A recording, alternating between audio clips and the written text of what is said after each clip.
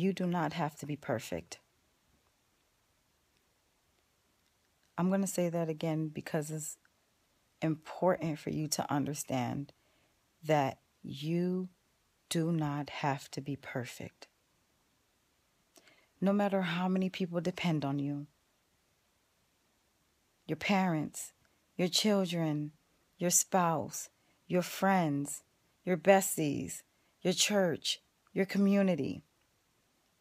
You are allowed to make mistakes.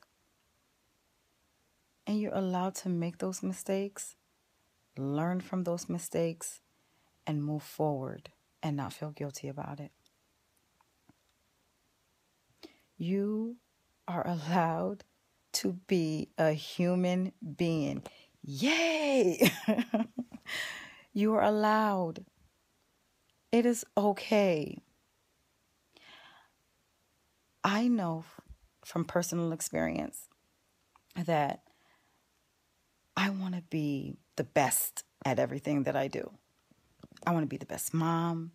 I want to be the best wife. I want to be the best business owner. I want to be the best uh, minister. I want to I want to be the best at any and everything I do. And when I'm not perfect, Tye, I'm hard on myself.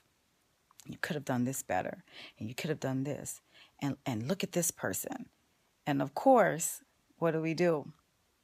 We start comparing our lives to everybody else that has a perfect life, right? And to confirm the perfect lives that all these people have, we go on social media because Facebook, or better yet, Livebook, is fact.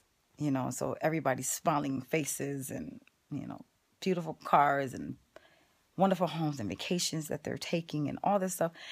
It just further tells you that you're not perfect, right?